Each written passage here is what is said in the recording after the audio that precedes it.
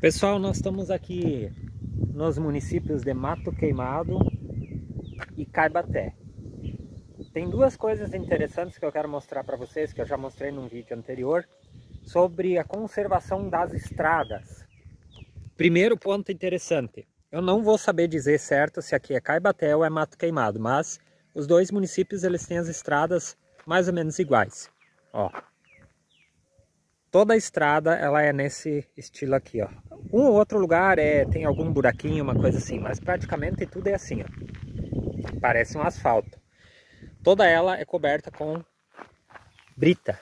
Na verdade, isso aqui não é brita. Eles ainda me falaram o nome disso aqui.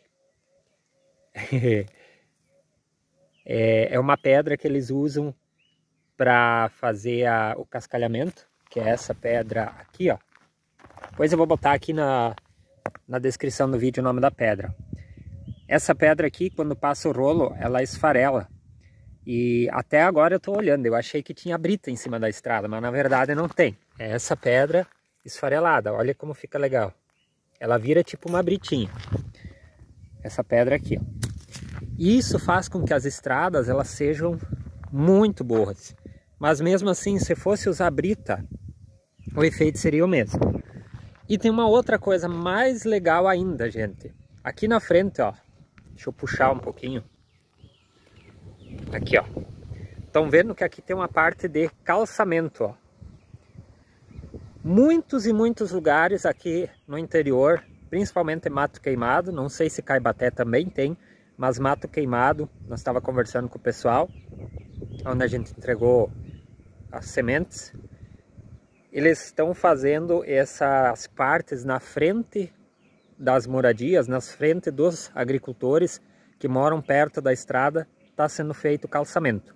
A gente passou por vários lugares que está interrompido o trânsito por estar tá sendo feitas essas obras. E diz que tem muita demanda dos produtores, né, por causa da poeira, e aí o município está investindo nisso aqui. Eu achei isso muito bacana, né, de tem na frente de comunidade, quando tem uma casa tem, quando tem duas, três casas, eles fazem a parte na frente das casas com uh, calçamento. É, é uma ideia muito bacana que vale a pena a gente compartilhar. E como eu sempre digo, a gente tem que reconhecer os municípios que têm um trabalho mais forte voltado ao produtor, né? E quando a gente anda num município como esses, Matos Queimado e Caibaté, com umas estradas bonitas desse jeito aqui, a gente tem que parar para mostrar e tem que pedir para você, amigo, compartilhar, porque isso é um exemplo que vale a pena ser mostrado.